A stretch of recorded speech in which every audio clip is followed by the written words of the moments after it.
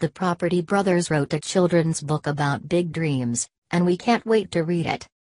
Drew and Jonathan Scott are expanding their Property Brothers empire in a slightly unexpected but very adorable way, with a children's book all about dreaming up big plans, attempting to carry them out, and how to deal with whether they come to fruition or not.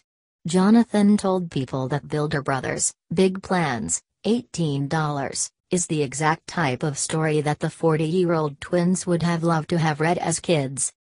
Knowing how much kids love to make and build things, we decided to write a picture book that would help inspire them to dream big and to dare to try, Drew said in a release from HarperCollins.